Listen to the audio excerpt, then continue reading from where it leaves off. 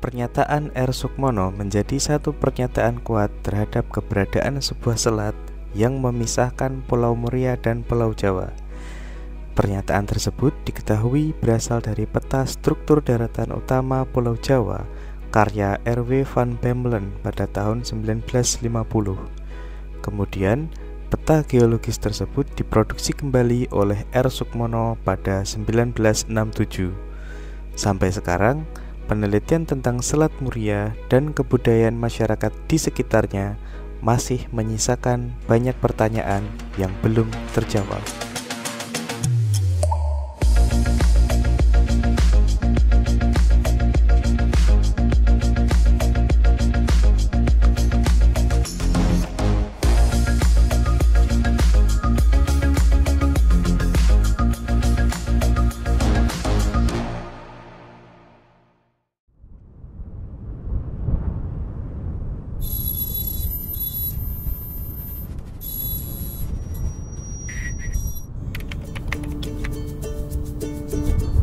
Halo teman-teman komunitas edukasi museum. Kali ini kita akan melakukan perjalanan di Pegunungan Kedeng Utara di daerah Kabupaten Pati.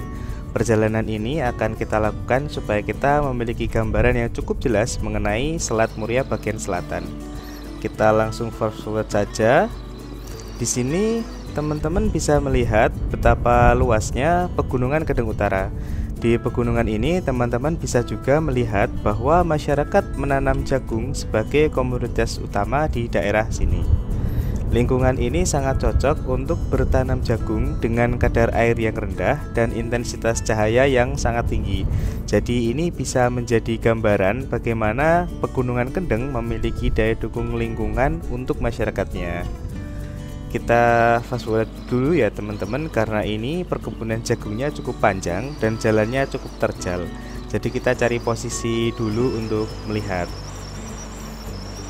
Nah di sebelah kiri saya teman-teman bisa melihat pegunungan Muria yang berada di sebelah utara dari pegunungan Kedeng setelah itu kita bisa melihat ke bagian timur kita bisa melihat terusan dari pegunungan Kendeng Utara. Jadi kita ini berada di bagian barat Kendeng Utara. Dari sini kita bisa melihat bentang alam pegunungan Kendeng yang melewati Kabupaten Bojonegoro, Kabupaten Tuban hingga sebagian Kabupaten Gresik. Lalu kita juga lanjut lagi untuk fast forward kita memasuki area pemukiman warga dari Desa Tompe Gunung.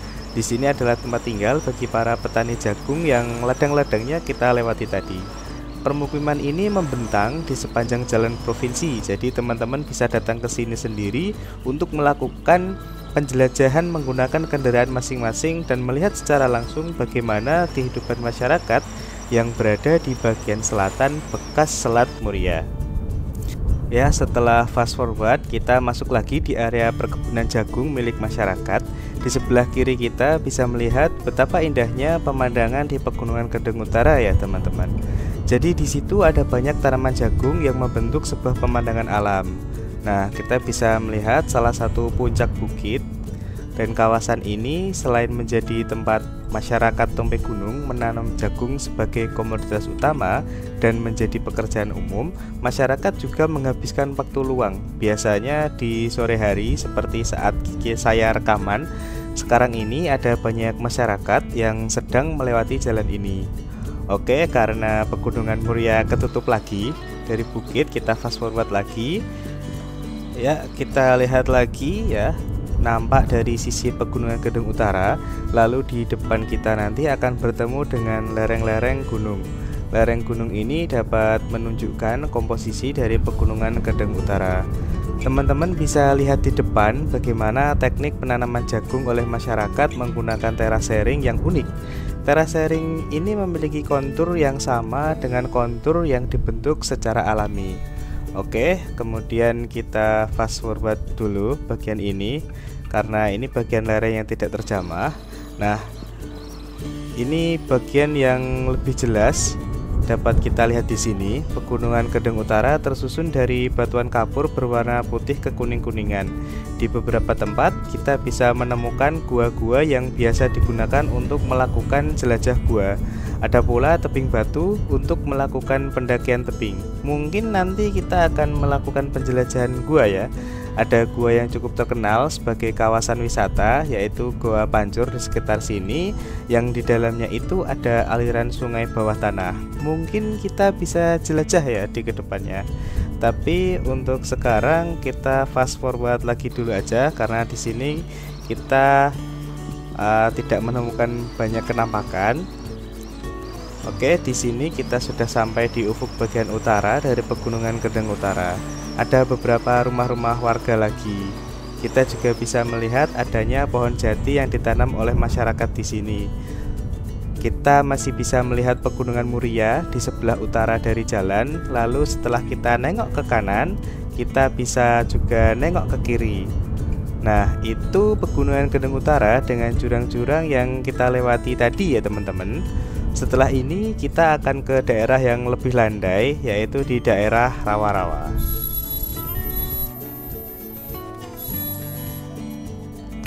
Oke, ini kita sampai di Desa Kasian, Kecamatan Sukolilo. Di sini menjadi sebuah gambaran bahwa bekas dari Selat Muria tetap tergenang oleh air. Kalau menurut disertasi dari Bu Veronique de Groot, bekas dari Selat Muria pada sekitar abad ke-10 mungkin berupa rawa-rawa. Pendapat itu dikarenakan tidak ditemukannya beberapa alat kebudayaan seperti piring, sendok, gelas, dan lain sebagainya yang terbuat dari keramik. Jadi hal tersebut menunjukkan bahwa di daerah ini tidak ada masyarakat yang mendiami. Tetapi pendapat itu bisa kita tinjau lagi karena dari perjalanan kita tadi yang berada di atas pegunungan, kita bisa melihat kayu-kayu jati yang membentang cukup luas. Mungkin masyarakat pada saat dulu menggunakan kayu sebagai bahan utama dalam membuat alat-alat untuk menunjang kehidupan sehari-hari. Kita tahu bahwa alat-alat yang terbuat dari kayu itu relatif cepat membusuk dibandingkan alat-alat dari tembikar dan batu atau bahkan logam. Oke, ini rawa-rawa yang menjadi daerah penunjang kehidupan masyarakat yang berada di antara Pegunungan Kedeng Utara dan Pegunungan Muria. Masyarakat di sini sepertinya menggantungkan komoditas pada pertanian padi kalau musim kemarau di sini juga ditanami buah melon dan semangka, ada juga yang menanam kacang-kacangan. Tetapi itu dilakukan ketika daratan ini cukup kering dan tidak basah seperti sekarang ya, teman-teman. Ini kita melakukan perjalanan di bulan Januari yang memiliki curah hujan yang cukup tinggi. Iklim sekarang ini sangat mendukung daerah ini untuk menjadi sebuah lingkungan rawa-rawa masyarakat lokal melakukan aktivitas seperti memancing ikan. Ikan sungai ya tentu saja seperti lele, gabus, bedik dan mujair yang ada di sepanjang rawa-rawa dan garis sungai. Ketika musim hujan seperti ini, selain masyarakat lokal, ada juga orang-orang dari luar daerah yang datang untuk memancing di sini. Mungkin teman-teman komunitas edukasi museum yang punya hobi mancing bisa datang ke sini secara langsung untuk dapat merasakan mancing di tengah-tengah bekas dari Selat Muria. Tentu saja ada pemandangan dari Pegunungan Kendeng Utara di bagian selatan dan Pegunungan Muria di sebelah utara yang juga bisa dinikmati ya ketika memancing nanti teman-teman bisa saja tidak sengaja mendapatkan artefak peninggalan pada masa lalu yang bisa menjadi tambahan dari koleksi museum. Tapi sayang sekali Kabupaten Pati belum memiliki museum ya. Sepertinya Kabupaten Pati itu satu-satunya kabupaten di Jawa Tengah yang belum memiliki museum. Setelah melewati areal rawa-rawa yang berada di Desa Kasian, kita bisa melihat hamparan padi yang luas dengan pegunungan Muria yang berada di utara. Lalu kita di sini akan menuju ke Desa Cengkal Sewu yang berada di bagian timur dari areal rawa-rawa tadi. Daerah ini relatif lebih kondusif dibandingkan daerah Desa Kasian tadi ya teman-teman kita bisa lihat di sini masyarakat sudah menanam padi dengan resiko kerusakan yang tidak sebesar daerah rawa-rawa di desa Kasian. Hal ini berpengaruh terhadap perekonomian masyarakat karena masyarakat di sini bisa melakukan panen sepanjang tahun, kecuali ketika terjadi banjir dari daerah rawa-rawa yang tadi.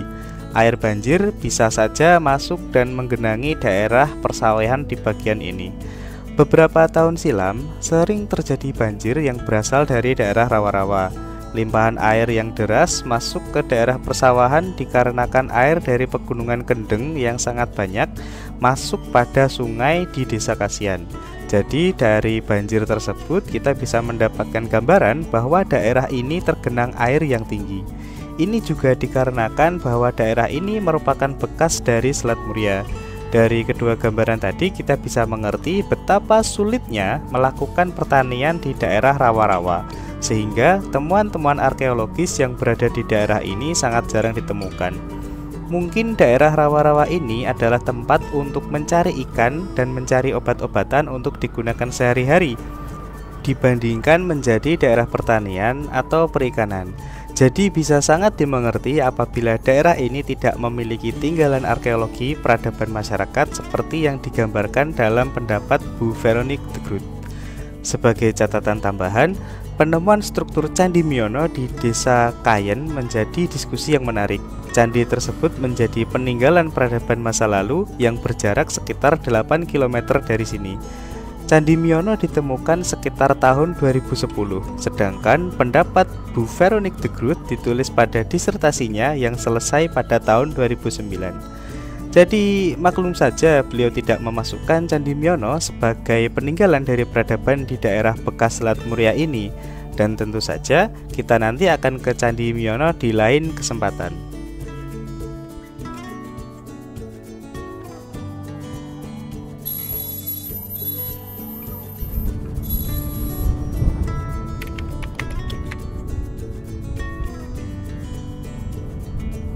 Sekarang kita pindah ke Desa Sukolilo, Kecamatan Sukolilo, Kabupaten Pati.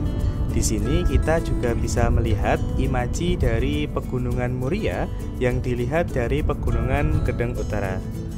Nah, di sebelah jalan kita bisa melihat Pegunungan Muria yang berada di belakang pohon yang cukup besar. Oke, nanti kita bisa melihat lagi Pegunungan Muria di bagian jalan yang lain ya. Tadi cukup singkat bisa kita lihatnya. Kini kita sedang di desa Sukolilo yang menjadi pusat dari kecamatan Sukolilo. Desa ini berada pada ketinggian sekitar 300 hingga 500 meter di atas permukaan laut.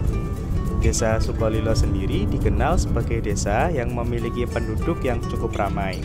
Masyarakat di sini memiliki mata pencaharian yang relatif beragam dibandingkan dengan desa Kasian dan Tompe Gunung. Desa Sukolilo sendiri dikenal sebagai desa yang lebih dahulu ditunggali apabila dibandingkan dengan Tombek Gunung dan Desa Kasian. Dari sini kita bisa melihat adanya pegunungan Gedeng Utara di sebelah kiri jalan yang berbatasan dengan kaki gunung di sebelah utara. Nah, itu akan kelihatan lagi nanti pegunungan Muria yang bisa dilihat dari ruas jalan ini. Mungkin teman-teman tidak begitu jelas melihatnya, tetapi apabila teman-teman datang langsung ke desa ini ketika cuaca mendukung tentu saja, teman-teman bisa melihat tidak hanya pegunungan Muria, tetapi juga ada pegunungan Pati Ayam yang membentang di sepanjang Kabupaten Pati hingga Kudus. Jadi di antara Pati Ayam, Pegunungan Gendeng Utara, Sangiran hingga Pegunungan Gendeng Selatan yang ada di Gunung Kidul Yogyakarta Lokasi-lokasi tersebut memiliki kemiripan, yaitu tanahnya yang tersusun dari aktivitas geologis berupa pengangkatan daratan. Cuman, sayang sekali di daerah Pegunungan Kendeng Utara, tepatnya di sekitar Kecamatan Sukolilo dan sekitarnya, belum pernah dilakukan aktivitas penggalian fosil. Oke, sampai sini kita forward lagi sekitar 20 detik ya teman-teman supaya lekas sampai ke daerah yang akan kita tuju.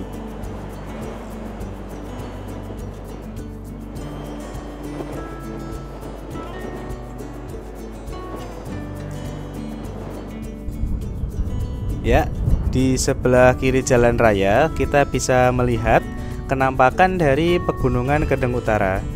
Kita sekarang sedang berjalan di kaki gunung bagian utara dari Pegunungan Kendeng.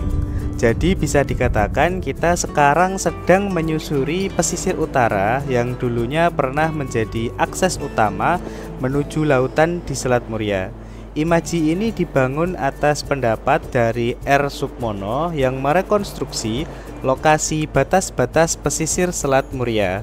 Karya beliau ditulis sekitar tahun 1967 di sebelah kiri kita itu ada aktivitas pertambangan Pegunungan Kapur Utara oleh masyarakat.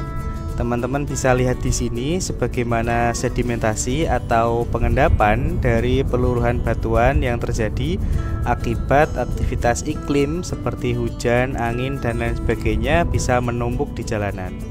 Nah, ini kita bisa tahu dari kondisi jalan ini yang penuh dengan pasir dari endapan Pegunungan Kapur.